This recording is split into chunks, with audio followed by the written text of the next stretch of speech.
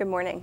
Good morning. I'm here today with Representative Jerry Birmelin, who served in the 139th Legislative District, which encompassed parts of Pike, Susquehanna, Wayne, and Monroe counties from the years 1985 to 2006. Thank you for being here with us today. Thank you. I want to first ask you, what kind of influence did your family have on your early life and your future career as a public servant? Uh, probably not much. I think I went my own way. Uh, other than a brother who had served on a school board, which was after I had become elected, uh, my family didn't experience a whole lot of political involvement. Uh, they weren't too concerned about things like that. I, I, don't even know if my mother and father voted, to tell you the truth. Uh, I just know that it was an interest of, or a subject of great interest for me when I became a, a high school student, and that's why I pursued that course. Well, how did you become involved in politics? Well, I was a teacher for 10 years, off and on, and uh, I taught history and government. And I incorporated a lot of current events into my history courses uh, because my high school history teacher had done that, and I had always been interested in that. And my first real awakening in the political realm was when the Kennedy-Nixon race was held in 1960 for the presidency, and that sort of got me started in this area of interest, and it just continued. I began, as I said, to be a teacher, teaching history and government, and I told people that I got the political bug in 1980 when I first ran and uh, have had it ever since.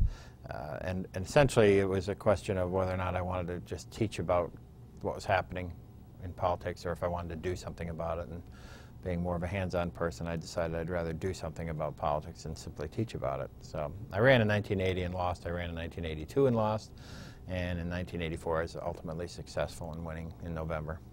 Would you say you always had political aspirations? No, probably not until around 1980. Um, that's, that's, why I say the political bug bit me. Uh, I, I, was very interested in politics, but hadn't thought of running myself until about 1980. But once I thought about running, then it was a sort of a consuming desire for a few years. Um, what influenced you to become a Republican? Well, here's the interesting thing. I ran in 1980 as a Democrat, and I was a registered Democrat uh, before that, primarily because my mother-in-law wanted me to register as a Republican. And I said, I'm not doing what my mother-in-law wants me to do, so I registered as a Democrat. I was younger. I was also uh, maybe caught up a little bit more in the, the liberal issues of the day. and so when I ran in 1980, I ran as a Democrat. Um, I soon discovered that because of my positions being as conservative as they were, that the Democratic Party really didn't want me to be one of their candidates. And so I, in 1982, uh, switched over to the Republican Party, which was much more in line with my political philosophy at that point in time, and still is, and ran in 1982 and lost. Uh, and then in 1984, I was successful in being elected as a Republican. Oh, thank you. Could you describe your career? You talked about being a teacher and your experience before coming to the House, and how did that impact your role as a legislator?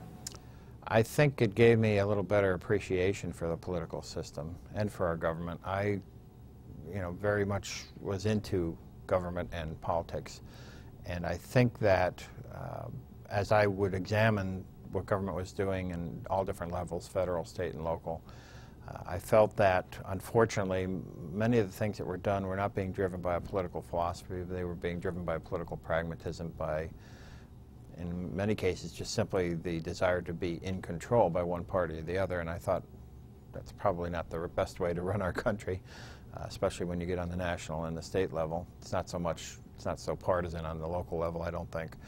Uh, but I just felt that uh, the philosophy that I had about why government should be doing what it should be doing, it was what motivated me to run to be a part of that. Mm. So why did you run for the House of Representatives? That's not a good answer. Uh, it was in 1980 when I got that political bug I was talking about. It was the lowest office on the ballot. so I said I'll start at the bottom, which really wasn't the bottom of the political scale, but uh, in 1980 it was because the, the last ballot position was state representative. So I said, that's what I'll run for. Okay. That's not a good answer, I know. well, did anyone help you get started? In yeah, I had, a, I had some friends that, you know, uh, encouraged me. They, they must have gotten some of the political bug themselves too, but didn't want to be candidates. And uh, they encouraged me to run, and they said they would work for me, and they did, and uh, that's how I got started. Could you describe the aspects of your first three campaigns, I guess, and how they differed with uh, your other campaigns? Well, the first campaign, as I said, I ran as a Democrat candidate. Oh. I got washed away in the Reagan uh, tidal wave. Uh, my opponent uh, the Republican didn't really do a whole lot. He didn't campaign a lot. He didn't have to. Uh, he was well known. I wasn't. And uh, although I worked hard, I did a lot of door to door. I didn't have much money, and I didn't have any name recognition. So in 1980 was my real learning experience. And and the, the thing that helped me the most in 1980 was I made a lot of friends who would then, and at a later time, help me again. The 1982 campaign was one in which I, by this point, had converted over to the Republican Party, which I felt was more appropriate. But they had changed my district through reapportionment, and the 1982 election was new districts. And where I'd run before, I was no longer running again. And that, that small portion of Wayne County that I lived in uh, was reapportioned into a Democratic-controlled district in Lackawanna County. So when I ran in 1980, I ran as a Democrat in a heavy Republican district. In 1982, I ran as a Republican in a heavy Democrat district. I obviously wasn't able to figure that out until 1984 when the guy that I had run against and lost to in 1980 announced his retirement. So it was an open seat in 1984 in the 139th. I moved, literally, about 10 miles to be back in the 139th district and was successful in getting, getting elected in 1984. Do you like to campaign? Uh, some things about some things I like about it. I, have I've always enjoyed the contact with people and the opportunity to talk with them in small settings or one-on-one. -on -one. uh, I, I felt my experience as a teacher helped me to learn to get along with people and to listen to people as opposed to just trying to talk to them and have them listen to me. Um, there are some things I don't particularly care for never have cared for, for instance parades. I, I, I always have felt kind of out of place sitting in a car waving at people and wondering why they would care to see their state representative sitting in a car. I mean, I wouldn't care to see that, so I don't know why other people would. And there's some uh, situations where maybe in large groups where you know there's three, four hundred people, and you're part of that uh, event, and you know you're, you're, not really contributing to it. So it, it oftentimes I wouldn't say it's a waste of time, but it's kind of one of the things you got to do in politics. But it's not really enjoyable. Mm. Can you describe the makeup of the 139th district? Well, right now the 139th includes about a third of Wayne County, two-thirds of Pike County, and two townships in Monroe County. Uh, what the, the phenomenon that I've had to experience is that I've had the fastest growing House seat in Pennsylvania in the last 10 years. Uh, when the reapportionment was done in 2002, I had 20,000 more people than I was supposed to have. Normally have 60,000. I had 80, over 80,000, and it was still growing. Pike County, which is one of the three counties I represent, is the fastest growing in the state.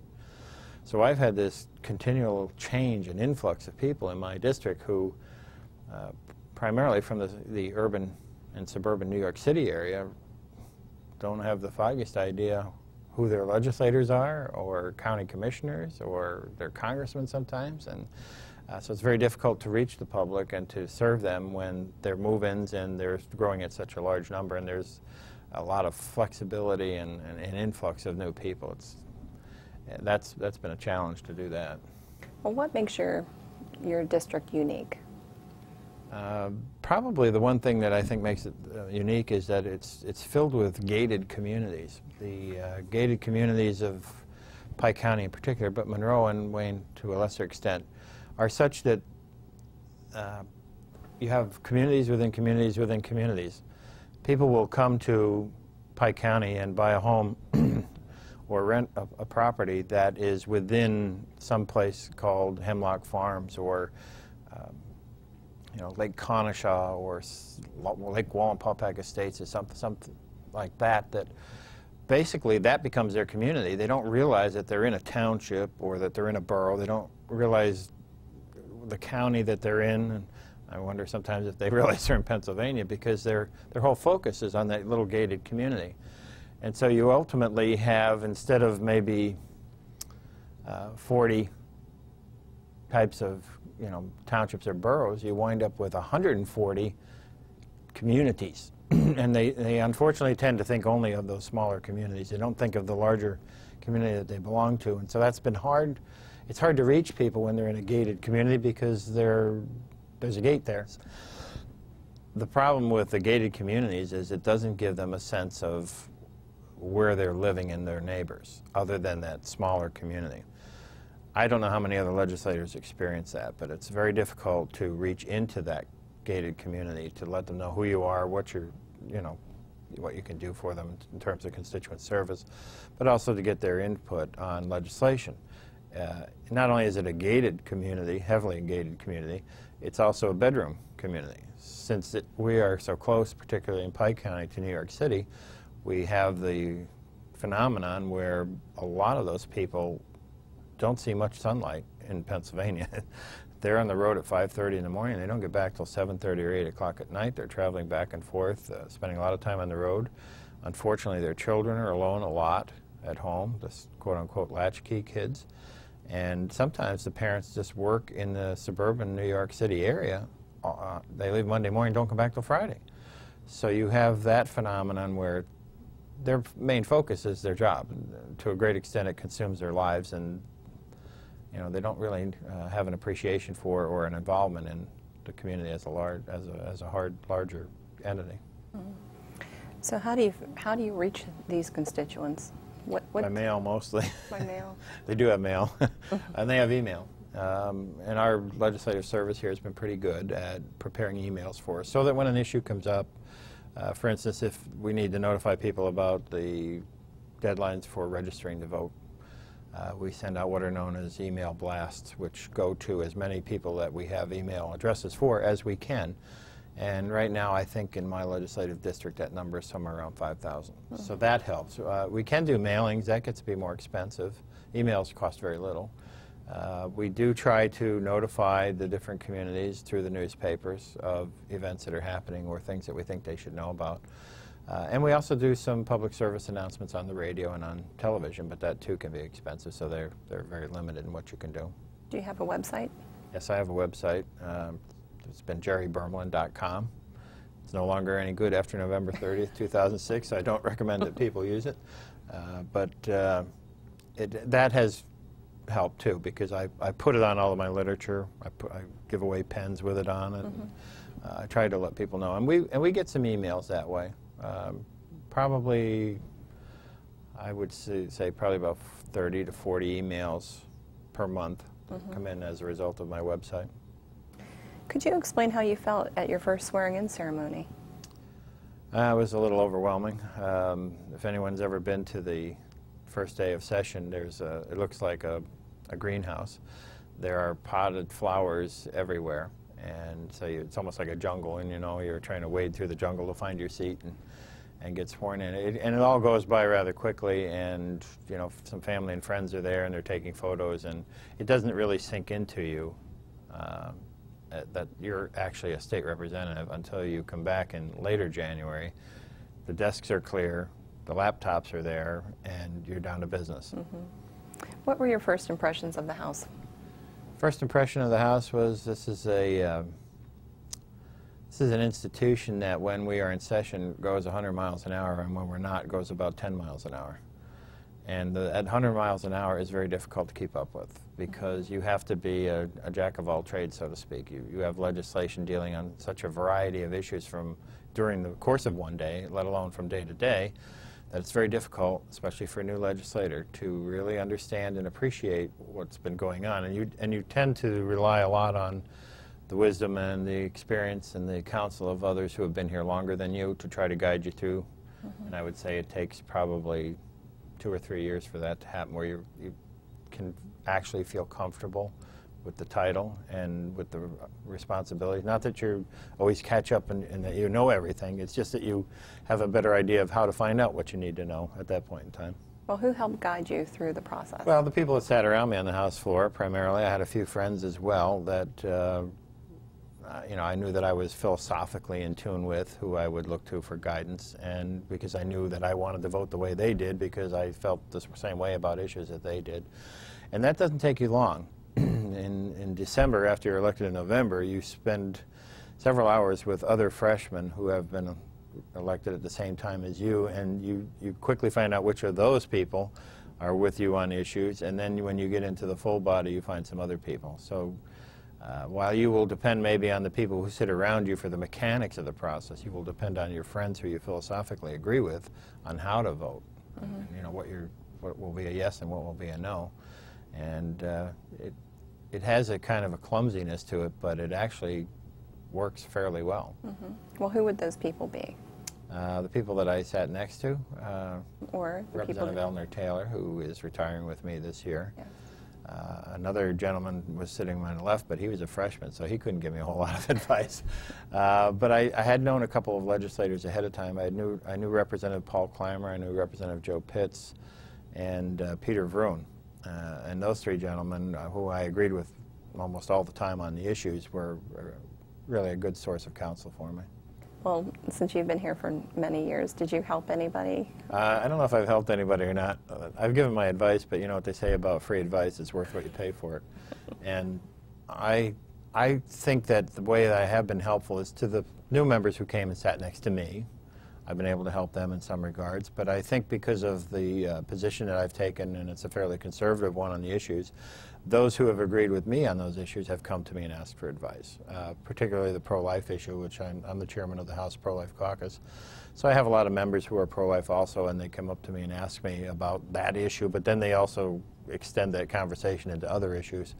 Uh, so I would say that I would probably have been a, a positive influence on maybe another 20 or 30 legislators, and may have been a negative influence on some that I don't know about. Can you explain the role of camaraderie through intercaucus, intercaucus, and individual relationships? Yes, I think that uh, sometimes, uh, unfortunately, legislators think it's us against the world, and so you find someone who you agree with on issues and you are friendly with, and that helps you through those times because we all feel at one point or another that there's some crisis in our political careers, either back home or here in the capital. And having a friend and somebody who's been through it before, or at least can uh, commiserate with you, is helpful. Uh, to know that you're not alone in your feelings and, and how you uh, voted and how you wanted to see an issue handled differently than it was. I think that that helps you quite a bit because you, you don't want to get on the phone and start calling people back home all the time and say, hey, you know, what should I do about this or that? You tend to look to the people here that you work with day by day and say, you know, how are you handling this? How are you voting for it? Or I, I got this letter, I got this negative uh, input, uh, how would you do it? Uh, so you find, and in my case, which may probably be typical, you, you have five or six people that you can go to and you ask them for help or you ask them what they think. And they usually give you pretty good advice. Mm-hmm. What would you say your first office was like in Harrisburg? A dump. they were in the process of doing a lot of remodeling around here when I came. They were building the east wing, wasn't finished yet. They were looking for places to put me. Okay. My parking spot was, you know, three miles down the road, and uh, not really, but it was it was out in the weather. The uh, office that they gave me was small. It was dirty. The wallpaper wallpaper was peeling off. It was in what is now known as the Ryan Office Building, which is beautiful now. It wasn't at the time in 1985. And, uh, but I was there for a few months, and then they moved me into what is now the Irvis Building, which was then called the South Office Building, and that was a, that was a step up. But then when they finished the East Wing, which was probably within three or four years of my being elected, th then it was like being in a castle because the East Wing was all new. It was, you know, mm -hmm. beautiful, new furniture, everything. It was, it was very nice. Mm -hmm. So I've only had nice offices since the East Wing was completed. um, what would you say, um, what legislation or issues would you say are your mo most important? Well, as I mentioned earlier, I'm the chairman of the Pro-Life Caucus in the mm -hmm. House, and that has been, for me, for 22 years, the one critical issue that I have felt very strongly about and have worked on. Uh, in 1984, when I was elected, and then we started meeting in 1985, I joined the Pro-Life Caucus. I worked with Representative Steve Freind, who was then the chairman, uh, doing whatever I could to help him to advance the cause of pro-life legislation. Uh, so over the years, that's been the main focus. The second focus I've had is on criminal justice. Uh, I wanted to be on the Judiciary Committee, was appointed to that committee in my second term and have continued in it for 20 years. I was the subcommittee chairman on crime and corrections. I toured 20, 21 of our state prisons. I, they always let me out, fortunately. and I had the uh, great experience of seeing our prison system and how it operated up front. So that was a great experience for me. Um, I've always had an interest in criminal law. I'm not a lawyer, but I, I take the perspective that you know government ought to be very precise and concise and specific about what is a violation of law and what its penalties are. And uh, through my work in the House over these 20 years, I think I've helped to improve some of the legislation through the amendment process. I had a couple of bills passed myself and uh, have felt that our criminal justice system, although it's fairly good in Pennsylvania, uh, still has room for some improvement, particularly in the prisons, where I think we oftentimes put people in but don't really make them any better by the time they come out.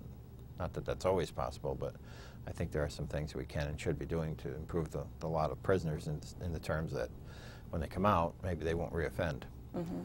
uh, so that's been the focus of my legislative career, and I, I've gotten involved in a few ancillary, you know, what I call minor issues, but I, I try to focus on the, the criminal justice issues and the pro-life stuff. You've um, served on many committees, as you had mentioned. Several. So, so many that I don't even remember them right. anymore. Um, most notably, right now, you're the chairman of the Children and the Youth Committee. That's correct. What issues um, come before you as chairman? Well, the issues that tend to be assigned there are dealing with the child and youth services of each county and daycare issues. Now, we have gone into a couple of health care issues. For instance, we had a bill that came through our committee from the Senate that was providing for a mandatory option for hearing tests for infants. Apparently, infants can be tested within the first day or two for their hearing. And uh, we passed law that said that uh, any birthing place, generally a hospital, has to at least make that available to the parents to say, hey, we can, we can do a hearing test for you. So uh, that was good legislation to do that. Uh, we've occasionally gotten into foster care issues. We've occasionally gotten into adoption issues. Uh, it's a rather narrowly focused agenda that the committee deals with. One of the best things that I think our committee does is we have public hearings and we bring in guests who will explain programs and services that are available to Pennsylvanians for their children and then our legislators can take that information and use it in their district office to help their constituents. So I've always viewed the committee process as not simply one that passes bills, you know, onto the, larger House, but who not only passes bills but also tries to help its members understand and appreciate the services that are available for parents and their children in Pennsylvania. And so we've had that balance, I think, between education and legislation. Mm -hmm. Did you have a favorite committee? Uh, judiciary was my favorite. That's why I stayed on it for 20 years. Okay. Uh, and I I always said if, if I could ever get to be chairman of the Judiciary Committee, I would have taken it, but uh, the opportunity never presented itself. Okay. Um, you talked about the amendment process. How is it used and how is it effective? Well, uh, it's effective in two different ways from a strategic viewpoint. Number one, if you're in the minority, that's about the only way you're going to get a bill passed is if you make an amendment to another bill. the, uh, the opposition party, when they're in control, don't like to make their their opponents look good, so they don't want legislation with their name on it. They're not as opposed to an amendment because an amendment's part of the larger bill, and whoever the sponsor of the larger bill is gets the credit. So if you're in the minority and you understand the amendment process, you can get a lot of legislation passed, and I was able to do that when I was in the minority. Uh, the second way that the amendment process is very helpful is that you may have something that's controversial and quite frankly, pro-life stuff is controversial. Uh, so we, we never assume that because we introduce a bill that has a pro-life perspective that it's going to become law on its face. We almost always have to amend it into some other bill. Mm -hmm. And so the amendment process works for what you might consider to be legislation that's controversial because the first time members get to vote on it, it's on the House floor. It's not in a committee. Uh, things can be killed in committee rather quickly. Uh, it can be dead on arrival when you introduce it, for that matter. Uh, so the amendment process works for members who, you know, have obstacles to overcome. It's actually, it benefits, you know, the minority more than it does the majority. Mm. Um, in 1997, you were named to an impact committee. Do you remember that? A task. Tell me more. Maybe task force. It was uh, to study government agencies and to find ways to reduce costs to improve government efficiency.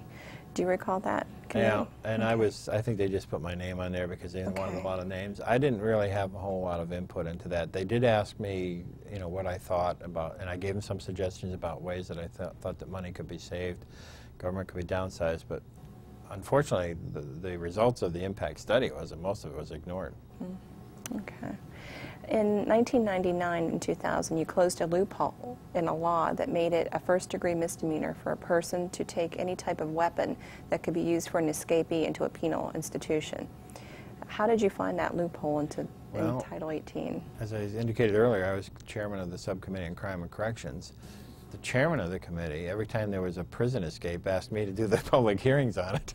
that particular uh, legislation was a result of an escape from the Huntingdon prison where people who worked in the prison helped the escapee. And we found out afterwards that the only thing they could do to them was fire them. We felt it was a criminal act to help a, a prisoner escape prison, and the law was silent on whether or not you could do anything about them criminally. Now, they could fire them. It was a nurse who was in love with the guy, and it was another guard who uh, claimed that he didn't know what he was doing or what he was carrying into the prisoner because he was bringing gifts from afar in, into to the prisoner, which actually were weapons that he used or tools that he used to escape. So this all came out in the public hearing that I was the uh, you know, the MC for. Mm -hmm. And so when we found out that they, they couldn't do anything to these wayward employees other than fire them, we thought, well, we need to make this a criminal offense. This, you, you can't just say you're fired. Uh, now, unfortunately, we couldn't do anything about those two people because you can't pass a law that, you know, affects something that predated the, the law, the, the old ex post facto uh, standard but it will apply to anybody in the future. Mm. Um, how, how, involved were you in developing a solution for school property tax? That's uh, one of the main issues that the legislature is facing right now. And what makes this such a difficult issue to, to solve? Well, my involvement has been through the Commonwealth Caucus, which is a member of uh, House members who uh, generally take a very conservative bent on issues. It's a bipartisan uh, caucus. And we have developed a plan over the years, about three years now, where we could totally eliminate school property tax by expanding the sales tax to items that are not currently taxed, but reducing it from 6%, which it is now, probably down to 5 or 5.5%. Um, we just have never been able to accumulate enough people in the House to support it. We generally can only get 70, 75 people when we've put it up for votes on uh, amend, you know, amendments that we've run or bills that we've run. So unfortunately, uh, that plan hasn't got enough popularity right now to mm. become law. Uh, second half of your question was? Um, why, does it, why is it difficult to uh, solve? Why is it, it, it's very difficult to deal with property tax because while everybody would like to get rid of the school property tax, or almost everybody would, this, the alternatives for supplanting that loss of income is a real bone of contention. And we found that out with our plan because if you say we want to expand the sales tax, and one of those things that we expand the sales tax to is financial services, for instance, we hear from all the financial services people. If we say that we want to do it to food in the grocery store, we hear from all the grocery store owners. If we, uh, it, it, it's just wherever you push the tax to, those people scream bloody murder and don't want it to affect them. Mm-hmm. Uh, so that's the problem. Is how are you going to substitute? It's not, it's not getting rid of the school property tax. It's what it substitute is that creates all the hubbub, and that's why you have a difficult time doing it. Mm -hmm. And even with our plan, we've had to make accommodations over the last three years to, you know, try to take care of some screaming segment of society. Uh, for instance, the doctors. I mean, originally our proposal included a, sa a sales tax on doctors' office visits, which are typically 50, 70, 80 dollars. Well, the doctors didn't think that was fair because when you go into a doctor's office and you know you pay a $50 fee, if you're paying it through your insurance, the insurance is only going to give him so much. The insurance may not give him the 50. The insurance company may give him 35, and then he, they have to take the 6% out of his $35, not out of the insurance company. They don't pay it. So uh, accommodations like that become very difficult in trying to keep the whole thing intact. Um, if we could do away with the school property tax and find some way to have it not be objected to. It'll pass in a moment, but we haven't found that yet. You were very active in your district, especially involving the resurgence of Prompton State Park. Correct. Why was this revitalization important to your district? Well, one of the things that you uh, will know real quickly when you visit my district is that it's very rural. Uh, the largest town in my district is less than 5,000 people. So what we have to offer economically to our people to a great extent is tourism. The Prompton Dam, which was built as a flood control dam in the 1950s or early 1960s, has created a lake that is two and a half miles long. It's very narrow. It's only maybe a quarter mile wide, but it's very long, and it's and it's excellent for boating and fishing. And there's never really been much done with it. So some local people came to me and said, you know, we've got a great opportunity here to promote this, to bring people into the area, to try to help promote ecotourism, particularly because it's, you know, a natural type of activity. So we, we decided that we would form a local group called Friends of Prompton Park. Uh, unfortunately, I got selected as the president of that because uh, I was a state representative, I suppose, and had an office, and nobody else did. And I could do all the mailings and stuff and organize the meetings. And we created the organization. Um, we have done major work on the what is called known as the trail system. They have literally tens of miles. I think it's like 30 miles, 31 miles of trails through this lake area. It's all surrounded by woods. There's there's not there's not 50 homes in the area, and uh, the benefit of that was to be able to let local people who advertise on their websites say, come to Wayne County, here's, here's a lake with 30 miles of trails, here's, there's boating, there's fishing, and et cetera, et cetera. So we were responsible for promoting the, the area, the, the park area. We built a pavilion, a picnic pavilion. Uh, we put in a parking lot. We made sure that there were porta johns there for people. Uh, we've also sponsored events. We've tried to get people there. We've had bird watches, we've had wild nature walks, and we've had hikings. Um, trying, just trying to promote it generally so that it's a part of what is available to people who come to the area. Mm -hmm. Were there any other district projects that you were involved in? A lot of minor ones, uh, you know, fixing up um, historic properties, for instance. Mm -hmm. We mm-hmm. just completed one in Honesdale only, I could throw a rock from my office to it. Um, Honesdale is noted for being the beginning of the canal, uh, the D&H Canal, which ultimately brought coal from the Lackawanna Valley into New York City and Philadelphia. And back in the 1800s, Honesdale was the beginning of that, and so they had this huge pond reservoir that they made, it was man-made, and the wall is still there, where, at least on one side of this pond, the, the boats were docked and that wall was starting to fall apart. So I helped them by getting a grant to restore the wall. But I've done other things, you know, in, in the area. I wouldn't call any of them major, but they were important to the people that you helped them with. Mm -hmm. um, helped uh, with the local railroad. They have a, a train line that runs a, an excursion that uh, needed help. We, we, were able to help them with some extra lines and things of that sort. Um, those things are hard to remember over a 22 year period of time, but uh, like I said, there are a lot of a lot of things you do as a legislator are very important to the people, the few people that you're helping with. Mm -hmm. But the rest of the public probably doesn't know too much about it. Yeah. Um, you were also did a lot of work regarding children, whether it was for foster kids or protecting them from abuse or obscene materials.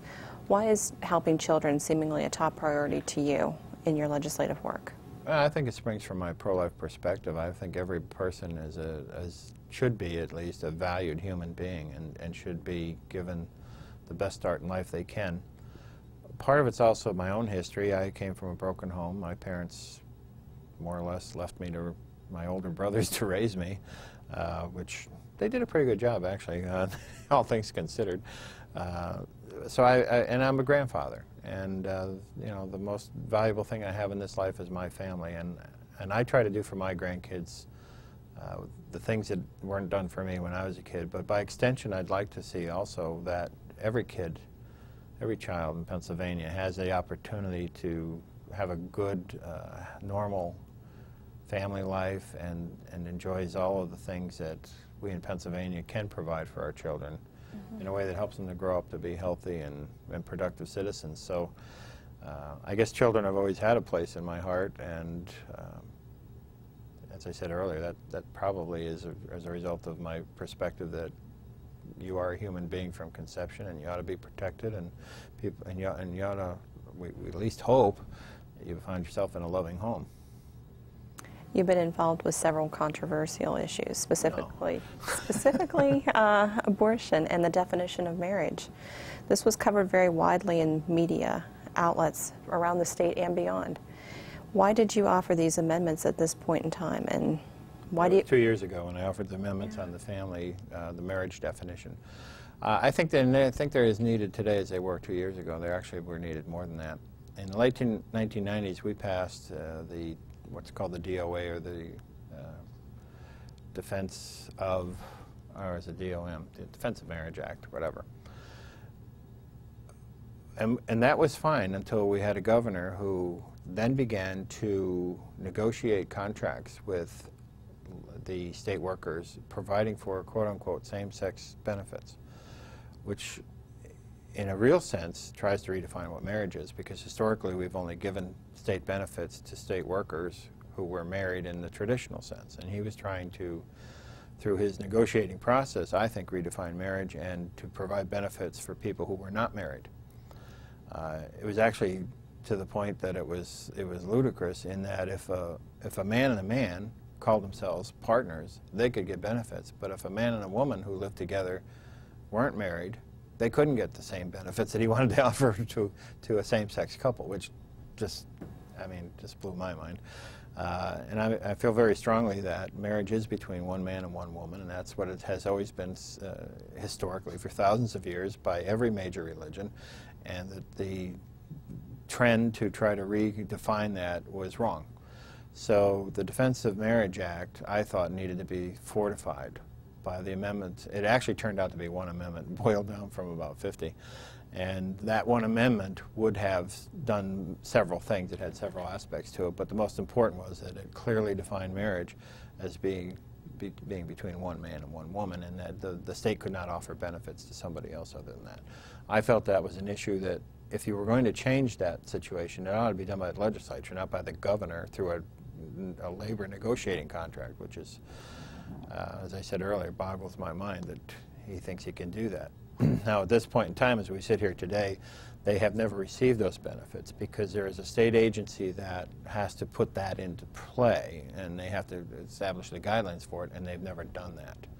So while it's in a labor negotiating contract that's been in effect for several years, it hasn't actually happened, hasn't occurred. This, this organization, this, this group of people that determine that when, how these things get done have not approved it. Mm -hmm. And it's my understanding they don't have the money for it either. So while he may have done that, uh, it, it, hasn't actually been accomplished. Um, we also, through that marriage uh, language, uh, ended what is known as common law marriages. Um, we just felt that in this day and age that you you don't need to have common law marriages anymore. And while the amendment that I had proposed was never ultimately voted on, the, we did away with the common law marriages in a later act. That was one of the less controversial things about that. Uh, that was a controversial measure. Um, I will say this for the, uh, the gay rights crowd, they, they know how to generate emails. And they have a very willing accomplice in the media. Uh, I, had, I did several interviews, um, newspapers. I did interviews with talk show radio. And ultimately, almost all of them came out and said this was a terrible idea. And some even got to the point of personal insults to myself and, and to those that supported me.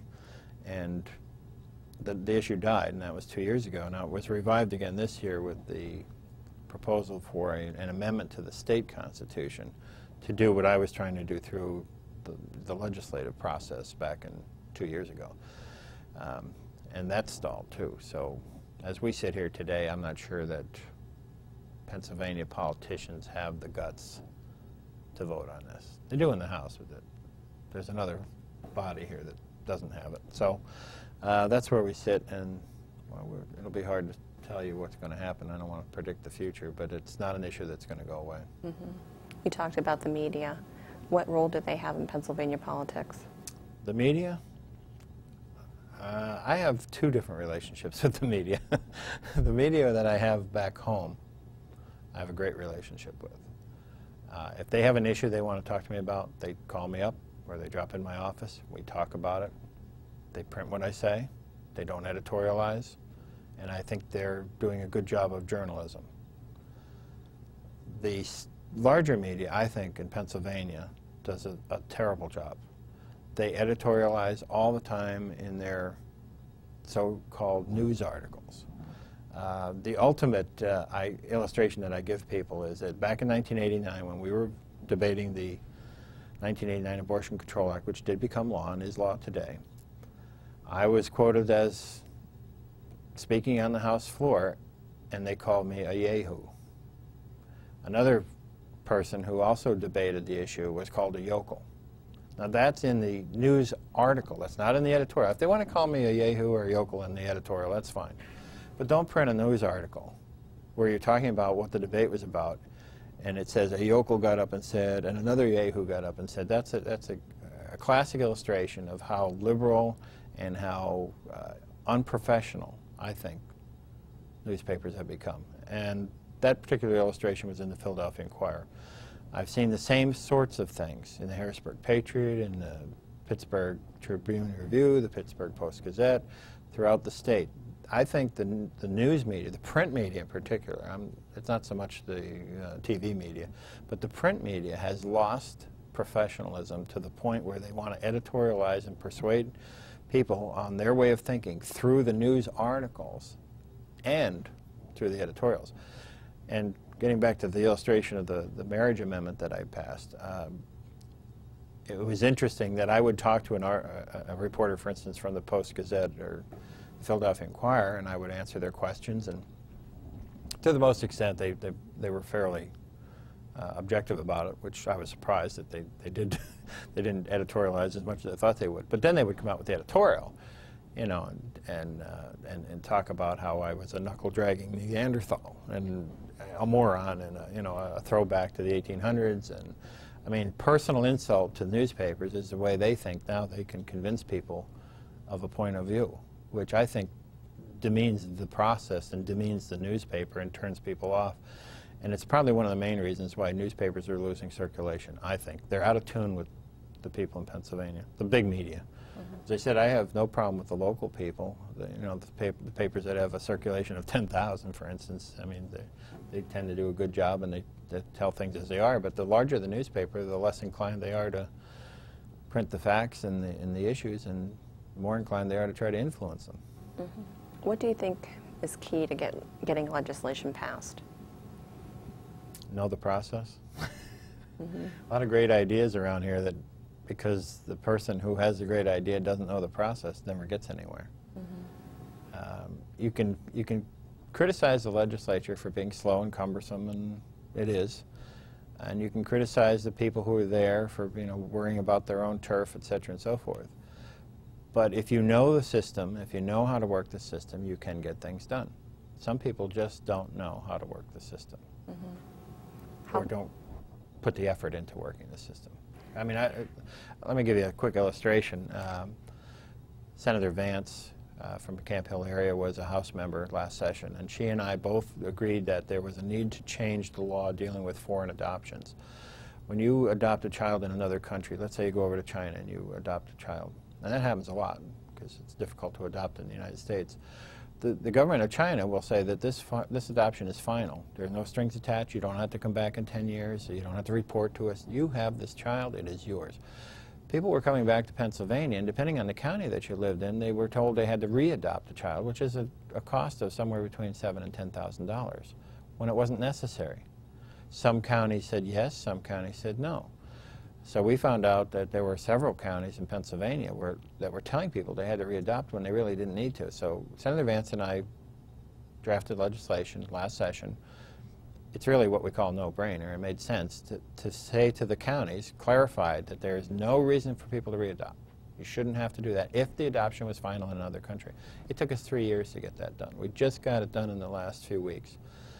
Now, that's an easy one, and it took three years. Imagine how some issues like eliminating property tax become so difficult. And um, but we knew the, we know the rules. I mean, Senator Vance is a, you know she's a very savvy legislator. She knows what's going on, and so do I, of course. You know, uh, and with all of our effort combined, and her in the House, and her in, uh, in, the Senate, and me in the House, and working together, we finally got this thing done. But and, and there was minor opposition to it, so it, it, can become a very difficult process. Mm -hmm. And I think the people who are most frustrated by it are the people who don't know the process or who aren't willing to do what it takes to make the process work for them, which includes going into people's offices and asking for their help and making sure that every T is crossed and every I is dotted, and you you know, and you keep pushing. You got to push, push, push. If you want legislation passed, you have to be the prime pusher of it. It isn't going to happen by accident. You don't introduce a bill and watch it go to committee, and all of a sudden, next thing, the governor's signing it. It doesn't happen that way. Mm -hmm. You have to baby it all the way through the process. Well, how frustrating is it whenever a bill that is a good bill doesn't get the deserved attention or go anywhere? Well, very frustrating if it's my bill, but I, don't, I don't worry too much about other people's bills, um, although obviously I do support other people's bills. So it, it can be frustrating.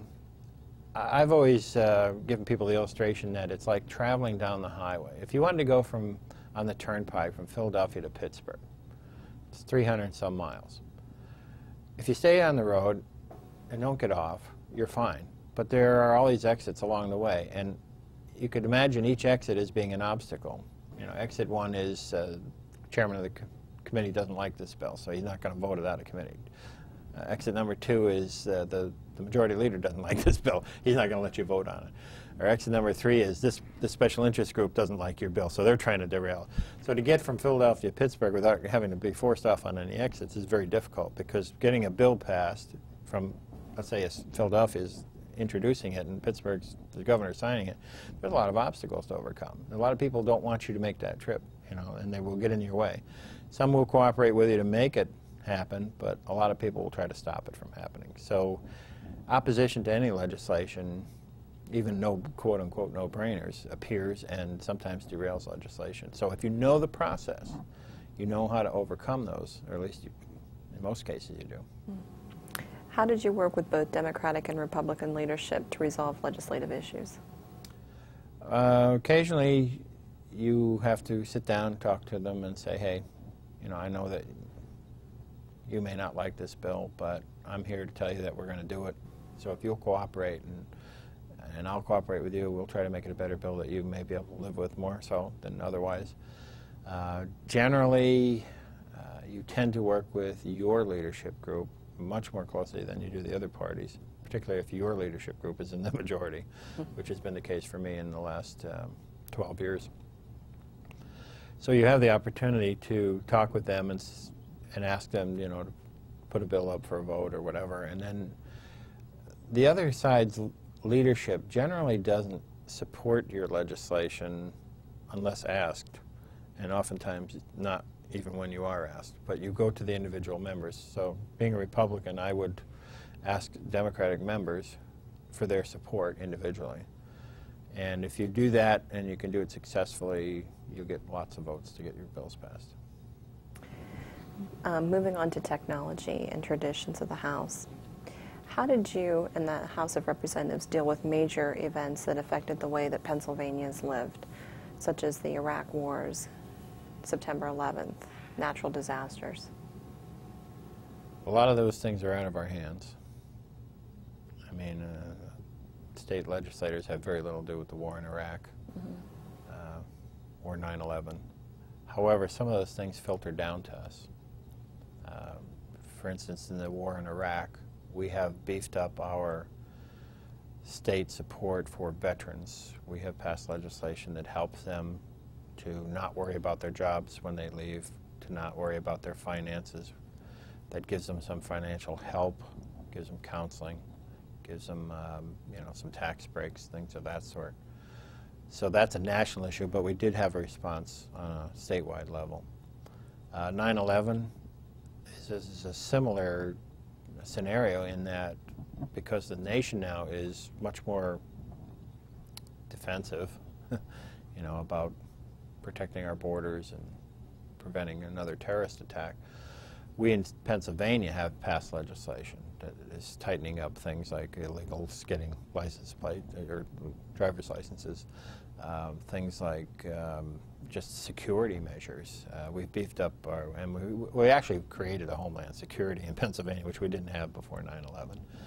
Uh, so they're working on coordinating emergency response teams and things of that sort. So the national issues sometimes, in their original impact, are national, but then they start to filter down through the state, and we begin to think of some things that we can do on a state level. So that, that would be two illustrations I could give you. Mm -hmm.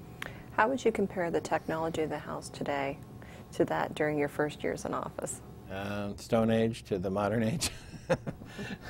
One of the things that uh, used to impress me about the early years was we had a ton of paper on our desk, especially at budget time. You probably could have saved a couple of trees if you had not printed everything. I actually went up to Bill DeWeese when he was the Speaker of the House and I was in the minority, and this had to be somewhere around 1990, 91. And I said to him, I said, Bill, I said, you know what, we could save a lot of money and be a lot more organized if we had computers on our desktops.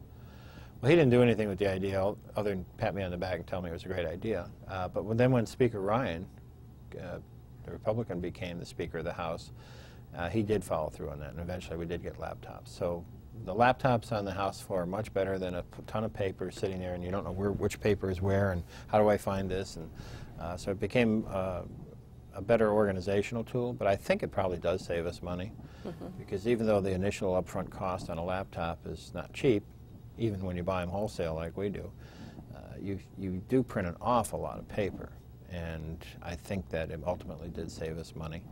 Now, that's on the House floor. Um, we've also done a lot of technological advances in our constituent service. Uh, I mentioned earlier doing email blasts, doing public service announcements through TV and radio, which are very effective. Uh, but we've also updated our computer systems in our district offices so that we're all linked together.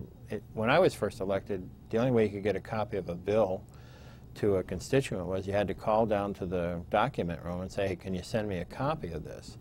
And they literally had these huge revolving bins where they kept all these copies of the bills. And if they had one on hand, that was great. If they didn't, they had to go fact or you know copy it somewhere and get it to you. So it was a, like a three, four day process before you got it. Then you had to send it to your constituent. But now we have access to that through our computer system. We can print it out, and we can have it in the constituent's hand in a matter of seconds. So uh, that's been a, a, really a big help. Mm -hmm. And there's probably a bunch of other things we've done that I don't remember because they, they sort of added them one, one by one, and I don't re remember every improvement they made. Is it a good idea to have a cell phone, a BlackBerry, so you're always in touch with everybody? Yes and no. um, I'm particularly sensitive to this as the chairman of a committee because I'm holding a committee hearing and people's cell phones are going off while I'm trying to conduct a hearing, which I find very aggravating, almost to the point of being rude.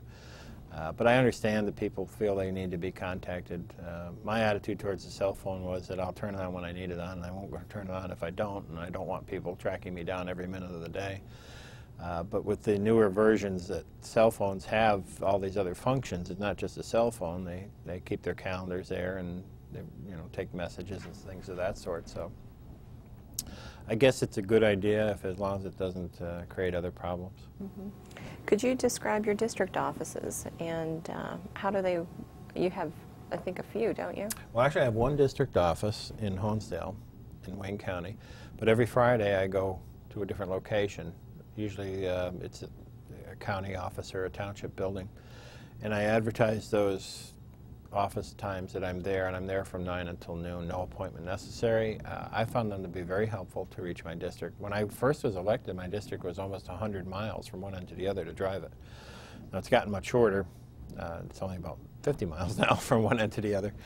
Uh, but I still do those visits on Friday mornings, and sometimes I sit there for three hours and nobody comes. But most of the time, there's two or three people that come and they have a problem, and I'm able to help them with it. And they might not have bother to do that if they had to drive to my district office. So, and it gets me out in the district, helps me to see what's going on in terms of the roads and the buildings and events that are going on.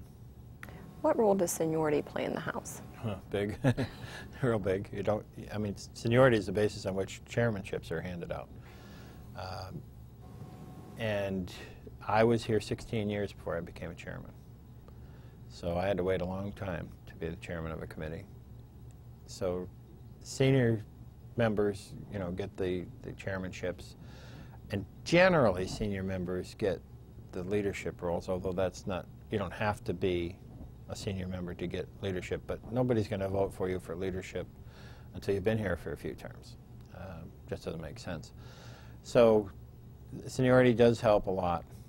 Uh, it, I'm not sure it helps you a whole lot in getting legislation passed, other than you're dealing with other senior members when your bill goes to, goes to a different committee and you want help on it.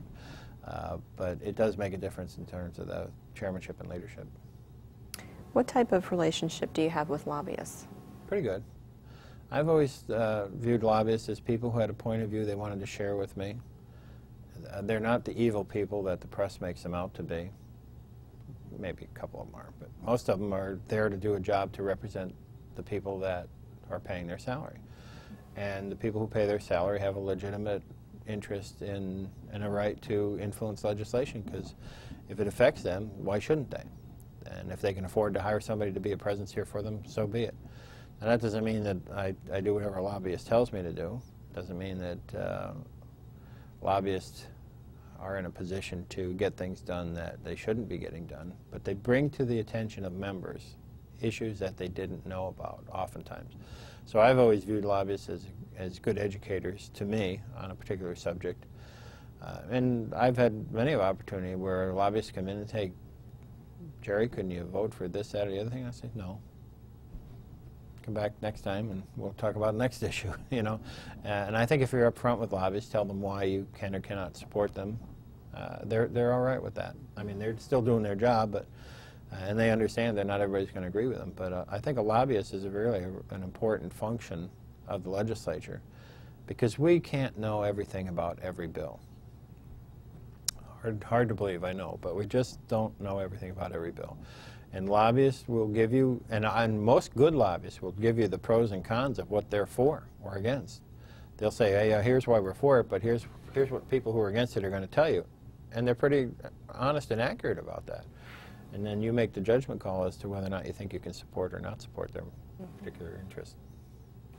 I've been told that you share a birthday with several representatives. Yeah. such as Easy Taylor, um, past Representative Howard Fargo, and uh, Majority Leader or Minority Leader uh, Bill DeWeese. Uh, which is the most interesting one. Yes. Yeah. Oh, and also Tom Quigley, who is currently a member. Oh, great. That's quite a popular day. What was that like knowing that all these other representatives uh, share the same birthday? Well, I was shocked that I had anything in common with Bill DeWeese. Um, Bill DeWeese is off to the left, I'm off to the right. Neither one of us apologizes for it. Um, he's, he's a year younger than me, I might point out, but uh, it is kind of strange. And we've gone out and celebrated our birthdays together. That's one of the interesting things about politics is you can stand on the House floor and fight each other on an issue, and you can go out to dinner and celebrate your birthday with that person. Uh, so it, it, it's part of that camaraderie thing. The House is, to some extent, a, a, big fraternity.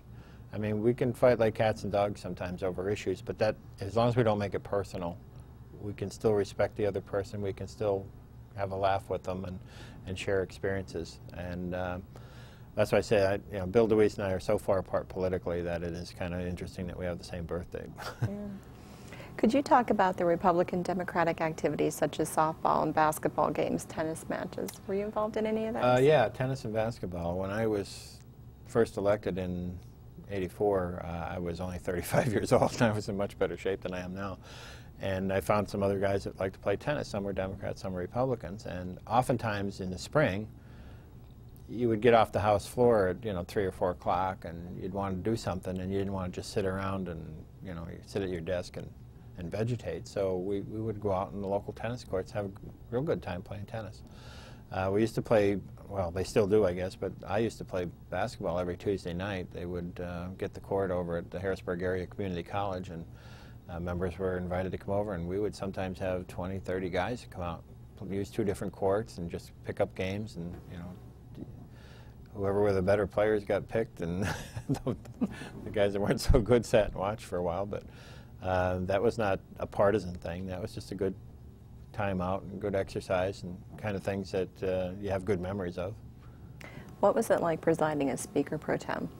I've enjoyed filling in as the Speaker uh, for a couple of reasons. Number one, uh, having been a teacher, I always liked the, the idea that I was in charge. And uh, being in charge as Speaker is much more difficult than being a teacher. Uh, if these, if the House members acted that way when they were kids in school, they'd have gotten thrown out of school, I think. Uh, there's, it's, it's hard to keep the, the the mob under control. But um, I do enjoy it. I I find that it helps me to be much more sharp mentally because you have to listen to everything everybody says. If you're sitting on the House floor and another member is at the microphone talking about an issue, if you want to listen, you listen. If you don't, you, you know, you turn to your neighbor and you start talking, or you pick up a newspaper and read it, or whatever. But when you're a speaker, you when you're up there, you have to know everything that's going on. You have to know what everybody's saying, and you have to keep track of who's supposed to speak next and whether or not they're out of order. And, and you also have the parliamentarian sitting or standing to your left, and he's whispering in your ear about what to do next. And the gentleman who stands to the right of the speaker is telling you who's the next guy that's going to be speaking at the microphone, and so and so is asking for recognition. So it's sort of like you're like a traffic cop in a lot of ways, uh, but you're you know, you're trying to keep 200 members on track going in the same direction. So it's a very challenging position. I enjoy it, and um, uh, that's probably one of the things I will miss when I'm not here anymore is the ability to fill in a speaker. And since with the Republicans winning the majority, uh, I've probably filled in there probably 70, 80 times, quite a bit. Uh, one other interesting aspect to this is uh, Bill DeWeese and I have the same birthday. Uh, we went out to dinner once when he was speaker, and I said to him, Bill, I said, I'd like you to let me be speaker for a while as a birthday present. And you know, he did that. And that's a rare thing that, you know, speakers usually only pick people to fill in for them who are of their same party. And I and Bill were not of the same party, but because we had the same birthday, the next day he let me go in and fill in a speaker for the first like 15 or 20 minutes. I thought that was a real hoot. Did you ever consider running for another public office um, besides the House? Yeah, I've thought of running for Congress. I, um, I would not run for anything else at this point in time. Uh, the office of the U.S. House of Representatives, I think, would be very challenging. It would be a step up from what I'm doing now. It would be a much larger district, a lot bigger constituency, uh, more time involved, and uh, a, a diff more difficult job, I think. Uh, but I'm at the point in my life now where I'm ready for that kind of a challenge. If that were to occur, an opening uh, in my congressional district were to happen, then I would seriously consider that. Hmm. What aspect of your job as a House member did you like the most? The work I do back home. The fact that you can help people, you can solve problems. People walk in my office all the time with a problem and most of the time walk out with a solution. And that's in, that's not just me, but that's my staff. I have very capable staff and people who I depend on know, to do a good job, and they do a good job. But uh, we're very happy and pleased with the job that we do back home. That, to me, is the most satisfying part of the job. What about the least? least satisfying is when we're in session and seeing uh, some of the things that happen here, some of the bills that are voted that uh, I feel very strongly are not the right thing to do, and I'm in the minority, and it happens anyway. That's that's hard to swallow. And I think, I think most of the people who quit after a couple of terms are people who have never learned to handle that part of the job, because everybody looks like a hero back home if they do their work, and uh, and we work hard at constituent work, but to to be successful down here means you have to be sort of like a baseball player who hits 250 he realizes he gets he's getting out three fourths of the time. He's only winning one fourth at a time with one hit out of four at bats, and sometimes it's even less than that as a legislator. Maybe you know maybe one tenth of what you vote for actually becomes law, and the other nine things you voted against did. So uh, you have to learn to accept the fact that you're one of 203 in the House, 253 of the House and Senate combined, and you're just not going to have a whole lot of success sometimes because other people don't see things the way you do. And you can't let that frustration defeat you. You have to learn to accept that you're going to lose, maybe frequently, and still continue to do what you want to do. And, and then when you look back at your career, you say, here's what I got done. Here's what other people got done, maybe I didn't care for, but here's what I got done. And, and you can take some pride in that. When you recount your experiences in the House, do you have a favorite story? Um, well, I have a favorite, uh, yeah, a memory. I don't know that it's it's a good one for the public. uh, but uh, when, in 1991, when we were at an impasse over the budget, we were going into August, and people were getting testy. It was hot. They didn't want to be there. The state had, we weren't getting paid. Some state workers weren't getting paid. It was a difficult situation, and, and Governor Casey at the time was trying to promote a big tax increase to get the budget passed. Well, we were in one particular night, and we had a photographer that worked for us for the House Republicans who was taking pictures on the floor, and they're allowed to do that.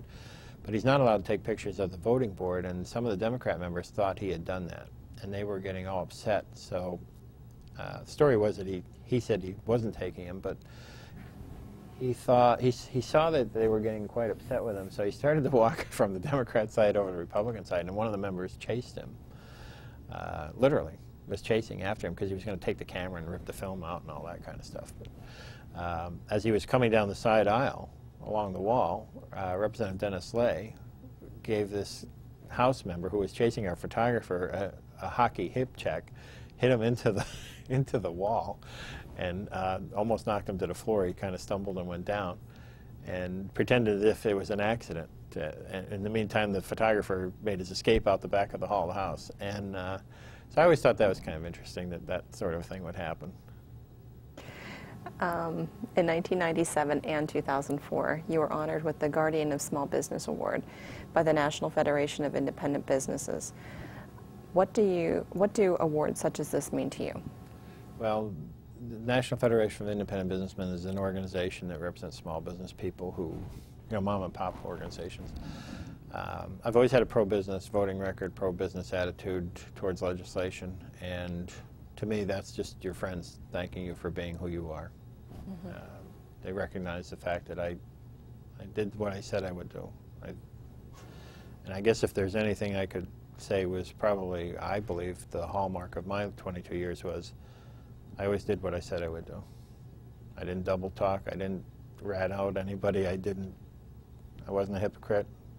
You might not like what I said, but I did what I said I would do, and I stand by it. And I think when you get awards like that, and I've gotten other awards from other organizations, uh, it's basically a, an affirmation that you stayed the course, you said you would do such and such, and you did it. Mm -hmm. um, what do you believe are your greatest accomplishments? Helping the 1989 Abortion Control Act be passed, helping the uh, fetal homicide bill become law, helping just recently the quote-unquote Birmelin Amendment, which restricts uh, abortion activities in Pennsylvania through the budget process, become statute. It had been a part of the budget every year for the last seven years, but we finally made it statute this year. Um, helping with the foreign adoptions things. I had an interesting bill that was it's called Bottle Club bill. Uh, a few years ago, the um, bottle clubs, which are not liquor licensed establishments, we're also having uh, live nude dancing. And we, we had instance after instance all over the state of neighbors who were complaining about the fact that these men were going into these establishments, getting liquored up, going out in the parking lot, smashing bottles and creating all kinds of problems, and some of which we can't say here in public. Um, so what we did was we, I passed a bill that said that you can either have the bring your own bottle drinking or the nude activities, but you can't have both in the same place. So it really put a damper on their activities. uh, I don't know which they, I think in most cases they reverted back to bring your own bottles and forgot about the nudity. Mm -hmm. uh, but it, we, since we passed that bill, we've had virtually no complaints about these places. So you know, it's one or the other, but you can't have both. And that was my legislation that did that, and I was surprised how effective it was. Since you'll be retiring at the end of the session, is there any legislation that you'd like to see completed before you leave? Uh, at this point, probably not. I mean, I still have a couple of bills that I think should become law, and if I don't get the job done, then I'm going to ask somebody who succeeds me to do that. But I think what we were able to accomplish in the last two weeks with the uh, foreign adoption bill and with the uh, restrictions on uh, appropriations for abortion uh, related activities as opposed to family planning. I think they were the two biggest things I wanted to get done before I left here, and we got them done. So I guess I'm on cruise control now for the last few months. Upon retirement, what are your plans? Well, I, I really don't know. Um, I'm 57. I am too young to just retire, retire, and not ever work again. Uh, but because of a lot of long service in the House, 22 years, plus I was a teacher and such, I have over 31 years in the pension system. I have enough through the pension to live on. So I'm unique in that aspect that I can just sort of do what I want to do and not have to do what I have to do. Uh, so if something comes along that interests me, something that I think I can contribute to and, and that it will make a difference in society, I'm not interested in a job just for the money, but if I can do something that makes a difference for what I consider to be a, a better society that we live in, I'll probably seriously consider that. Do you think you'll still remain active in politics? No, unless I run for Congress. um, I would at least want a break from it. Um, and I've been fortunate. I, you know, I only had two opponents after I got elected in '84. I've only had two campaigns where I had somebody running against me, and only one of them was a really serious candidate. So I haven't had the real hard campaigns that a lot of go guys go through and have to put up with, you know, all the negatives that they, they deal with. So I've been pretty fortunate that way. But it does wear on you. Um, there comes a point in time when you just don't want to get up and go to that dinner and spend the night away from home again, or you know, get to go get in the car to go to Harrisburg because you know you're going to be away three or four days again. There, there, there's that point in time where you just want to break from it, and I think I'm at that point. And that's one of the reasons why I decided not to run again. I just felt that uh, if you can get legislator burnout, that I was on the edge of getting that. So I'm young enough to do other things and old enough to know better than to do the wrong things. My last question. Do you have any advice for new members? Yeah, I wrote it down too. I'm okay. make sure I get this quoted right because I think this is the smartest thing I ever said to a new member. I would say, I would say to a new member, there's two equally big mistakes that you can make. Taking yourself too seriously but not taking your job seriously enough. I've seen too many people who come down here with the inflated egos. You know, they get what I call the God complex. They think, oh, you know, people love me back home. I'm elected. I'm a state representative. Blah blah blah. I'm, you know, I'm I'm wonderful, and they take themselves too seriously. On the other hand, sometimes they don't take their job seriously enough. They don't study the legislation, they don't know the issues, they don't care how they vote, uh, they're not doing their work back home that they get elected to do. and I think that's an equally important mistake to make. I'll put this all in perspective with a story that I share with people. When I was running for office, um, I was gone a lot. My, my daughters, who were then somewhere around 10 to 15 years old, uh, knew what was going on, but they weren't really involved in it. Uh, and my daughter and my well, wife, or daughters and my wife would come home at the end of the day and they'd get the mail and you know they'd see all this campaign stuff and whatever. And it was every all my mail was addressed to Jerry Birmelin. Within the first week after I won the election in November of 1984, my daughter, who is 10 years old at the time, is getting the mail every day, and all of a sudden I'm getting these letters of congratulations and the, and the title is The Honorable Jerry Birmelin. So for about a week, she's getting picking up the mail and she's seeing all these letters. So we're sitting at dinner one night, and she says, "Can I ask you a question, Dad?"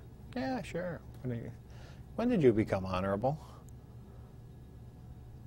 You know, it's not me; it's the job, and that's that's what I try to tell people: be honorable because the job is honorable.